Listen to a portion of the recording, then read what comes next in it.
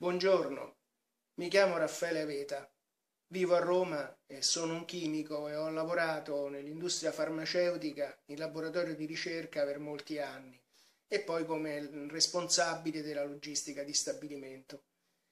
Sono da sempre appassionato lettore, con interessi che vanno dai saggi scientifici ai romanzi, con una particolare predilezione per la fantascienza, il giallo e il mystery e mi sono poi dedicato alla scrittura di racconti brevi e infine di un romanzo. 36 colori nel buio è il mio romanzo di esordio.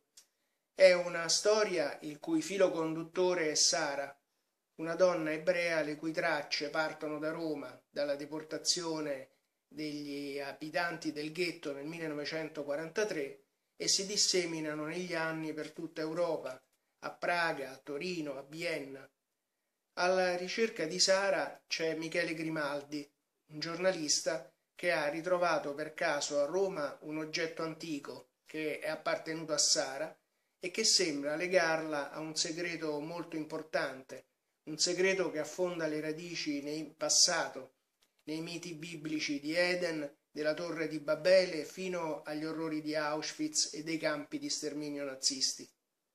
È un segreto rimasto nascosto nel buio per millenni, in attesa di tracciare un nuovo quadro della storia e del futuro dell'umanità. Nei romanzi, come nei film, troviamo personaggi apparentemente secondari, i cosiddetti attori non protagonisti. In questa storia, al contrario, Sara è una protagonista non attrice, una presenza volutamente nascosta ma sostanziale e rappresenta in fondo il ruolo cui gli uomini hanno relegato le donne nei secoli. 36 colori nel buio ha infatti una seconda chiave di lettura che va al di là del romanzo giallo.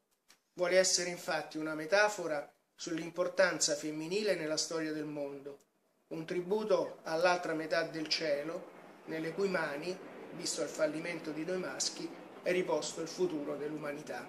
Grazie.